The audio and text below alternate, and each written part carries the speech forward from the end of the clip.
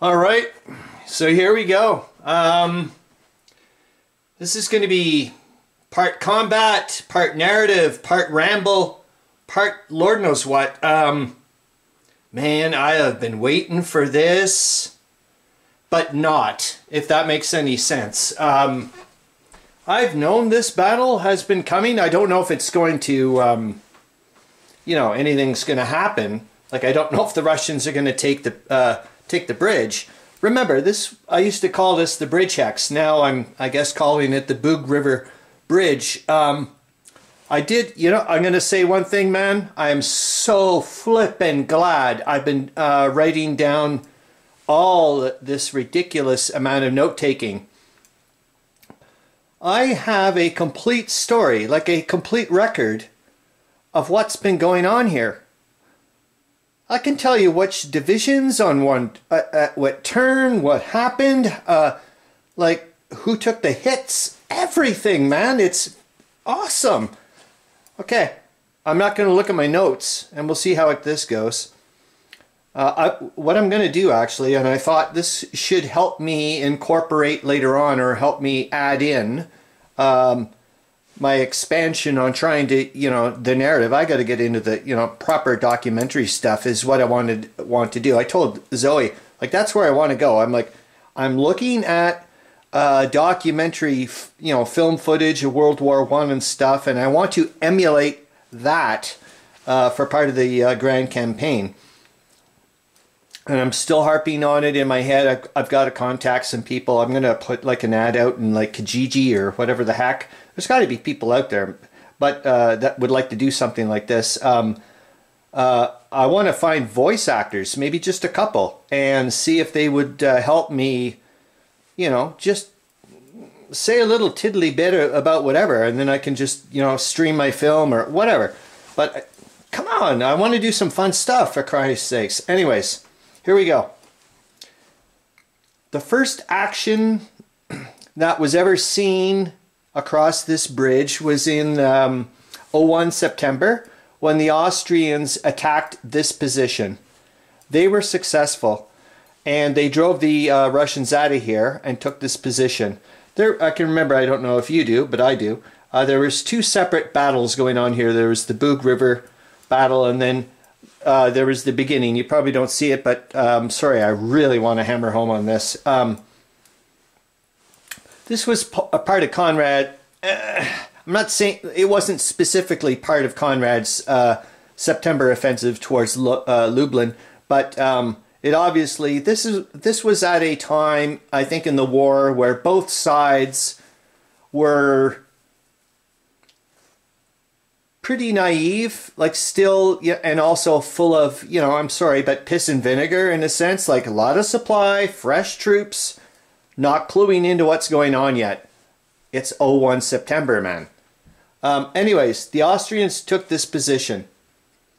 Um, surprisingly, the uh, Russians did not counterattack here due to the fact that they tried a different tactic. It's because the Austrians also took this position.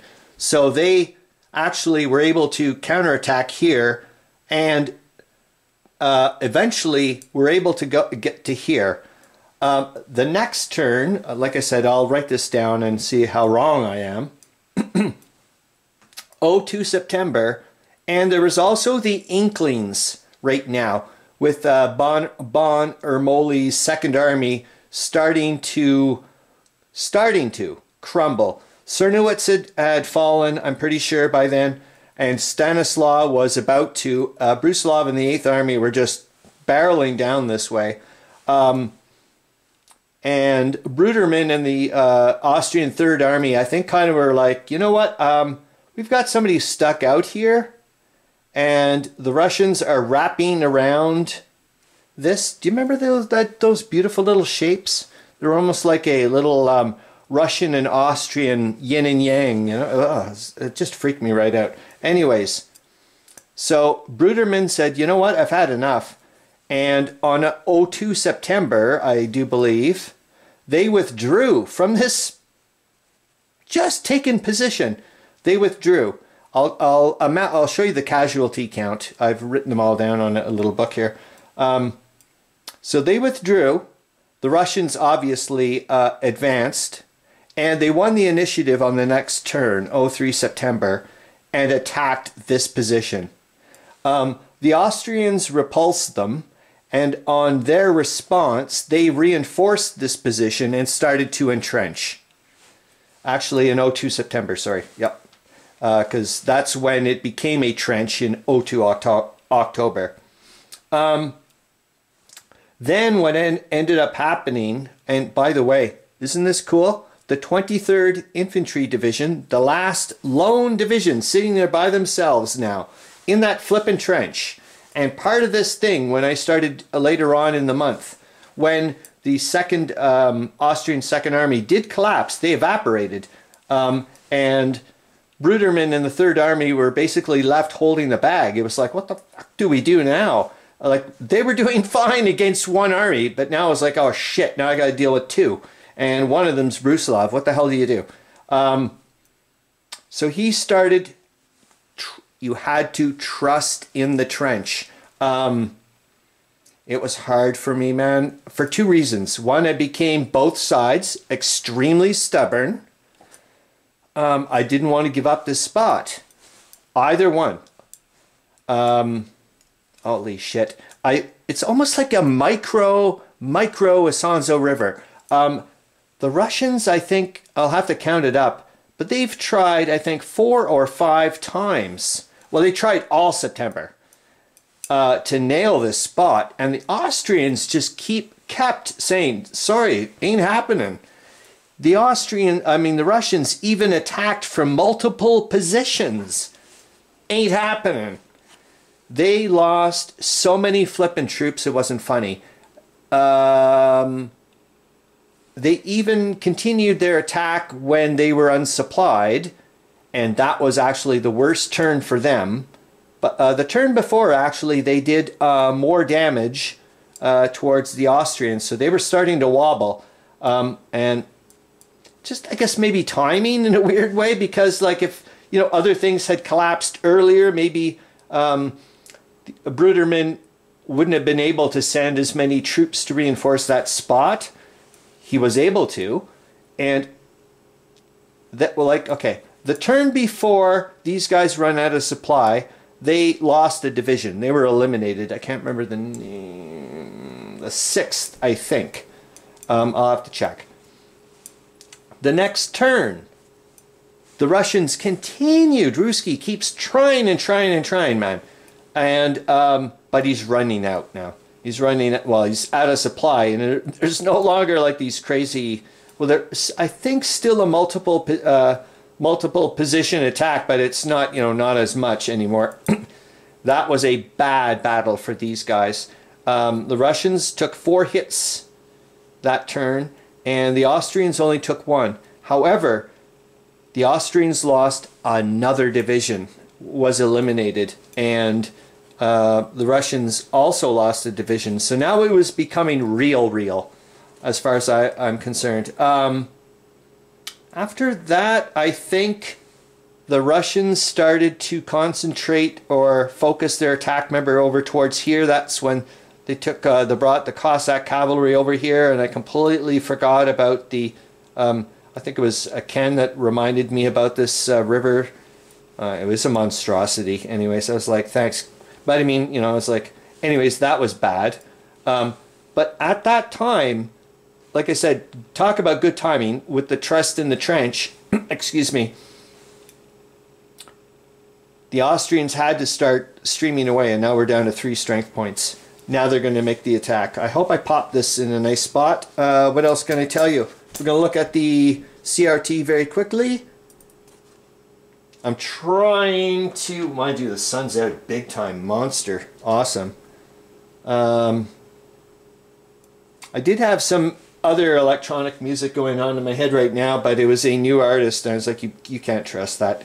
Trust in the trench. Do not trust in a new electronics artist, I guess. Um, anyways, it's going to be rough. I'm going to tell you what I've done also. Sorry, man.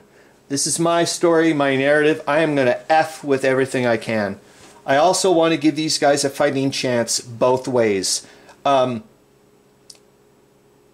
I also right now I am I it's hit a sore spot with me in the fact that I pride myself in playing the Russians extremely well no matter what flippin' game system you want to throw at me right now. And I'm naive, trust me.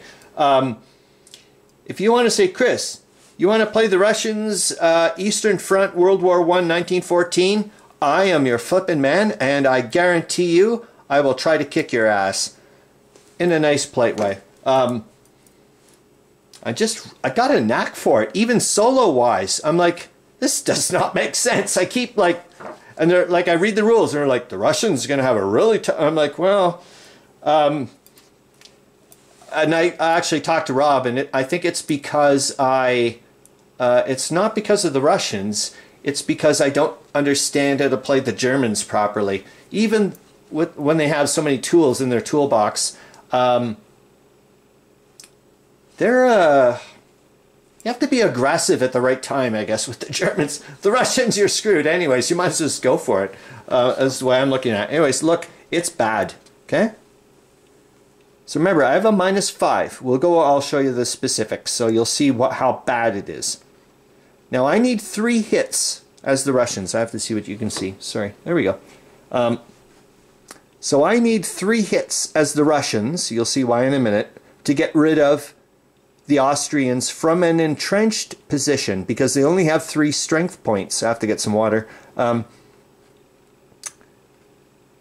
now they will, okay, if you, to force a retreat, doesn't mean they'll be eliminated, remember, because you'll force a retreat, they'll take one third the hits, so they'll only take one hit. God, I love this flipping system, man. Like I can see, like, okay, you force this from the trench, there's still some of us alive. Love it. But you've wiped out, you know, our beautiful place. Um, so what I've done to tweak things, hold on, like yeah, I could getting, uh, I need some liquid for my mouth, which is odd because I'm like Mr. Saliva Man. It's ridiculous. I often think people, I like I should walk around just with a face shield. Well, unfortunately, if I did that, I wouldn't see anything pretty soon, or I'd need wind, windshield wipers. Um, okay, I'll go to the. Um, We'll talk about what's going on here. It's brutal. Five division, excuse me, five divisions to one. We've got the 11th Infantry Division, the 2nd, the 9th, the 5th, and the 42nd. The only one that's at full strength is the 11th. Everybody else is at half strength. You're going up against the Austrian um, 23rd Inf Infantry Division. They're entrenched in broken terrain across a river. Minus one to the attacker's die roll due to broken terrain. Minus two to attacking across a river. And minus two to attacking an entrenched, an entrenched position. Thus, they have 12 strength points with a minus 5 DRM. Now, you ready for my crazy, extra, ridiculous Good God, what the hell are you doing with a D6 die roll, just a normal CRT? So, I've put all three extra cubes in to get the extra blank one, which is just going to be scare the hell out of you. Ooh, could have been a red one. Uh, the extra red one's going in, and the extra green one is going in. As well as, if you want, if you want, and it's a bad move for you. You can sacrifice a strength point like it's still going to be counted for your attack, obviously, because that's why you're doing the, the modifications, but you will lose that strength point. They are gone. You cool with that? Well, you have no choice. oh, good God. So there you go. I hope this uh, this entire thing makes sense. Because here we go. Sweet Jesus jumping mother. Yeah, I'm going to tell you something about um, things with me. like when it gets to here, I'm going to do it now. But Zoe is like, man, you have some issues this way. You have no idea how many TV shows or movies I have stopped watching because I'm like, nope, not going there. I'm too emotionally attached and not happening. I think it was Dr. Foster or something. Yeah, it doesn't matter. But anyways, there was like 20 minutes left in the series. And I was like, nope. That's it. Not happening. So here we go. I need to do lots of horrible things with this. Uh, there's going to be people dying, man. Let's take a look. There's going to be lots of people dying. All right. So I'm at 12 strength points, and I want to get them out of that flippin' spot. Remember, I have minus 5. I am so effing screwed, it is not funny. Okie doke. Now, I'm going to stop the video just because I'm terrified of the battery and I'll be right back. So it'll be two videos. You get the idea, I hope. Please camera work, because this was a long thing, man.